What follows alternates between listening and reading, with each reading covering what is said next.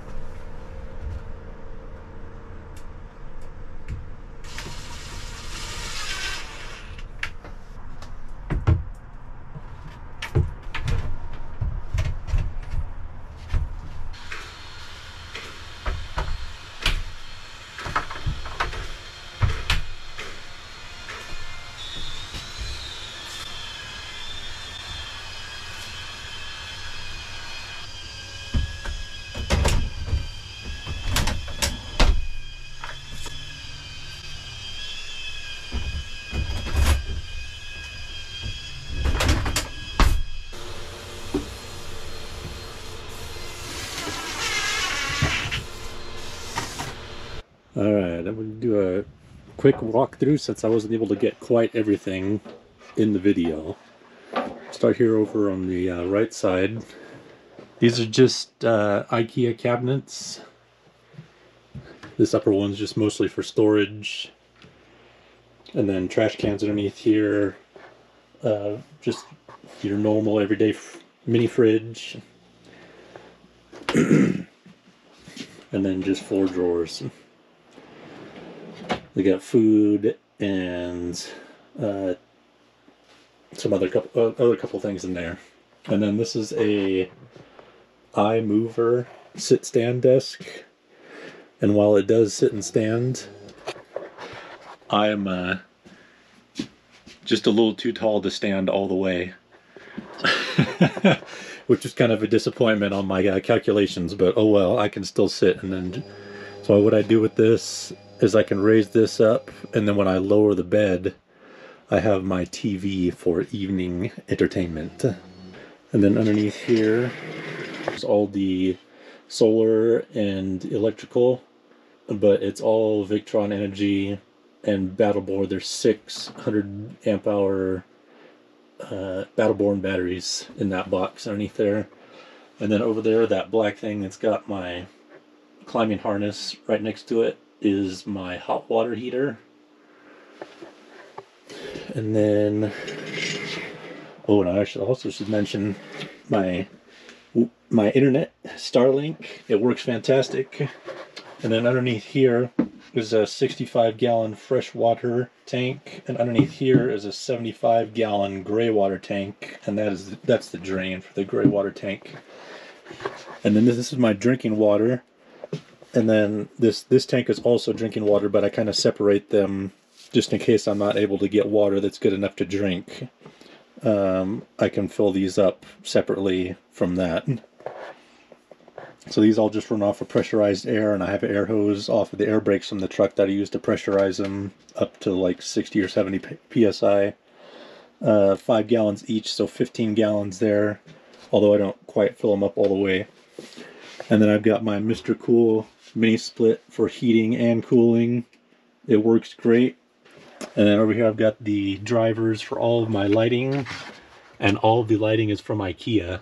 And I don't know if you can see over here, but I've got these cool little kind of strip lights that run down the each side of the bed. And then I've got these, all the rest of the lights are just kind of the normal IKEA lights.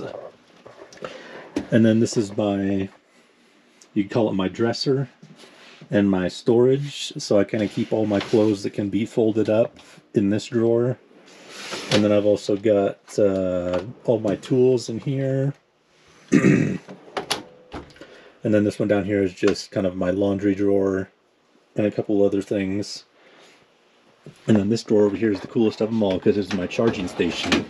So I got all the I got the whole power strip from the toolbox, and then I got all this space to put all my chargers and headphones and hard drives and all that stuff. And it also holds some more of my tools. And then in here is just the average dresser, although I had to cut it quite a bit to make it fit in the size that I wanted to, but I keep all of my dress shirts and suits in here, and then shoes. And then here's my shower. I had these uh, aluminum panels bent up at a sheet metal shop. It wasn't terribly expensive. They're just 16th inch aluminum. And this is uh, American standard, just standard glass door basically. And nothing too special, just magnetic head. It works great. My showers, I don't run water the entire time, so I just kind of made a catch pan on the bottom and I have a pump that I stick in there and suck all the water out. I usually end up using, I don't know, maybe two or three gallons for a shower. Probably not even that much. And then to finish off is just a little storage area. And that about does it. Oh, and then I've also got this up here. This is my, for my motorcycle. So if you're paying attention earlier, I got my little wheel chock that goes down there and I've got a ramp that mounts on top of the ladder and runs out about 12 it basically stops where that tree is out there. And then this winch hooks to the handlebars of the bike and pulls the bike back up in here. And the rear end of the bike ends up going just past the chair over here. And it's a it's a KTM 1290 Super Adventure that fits in here.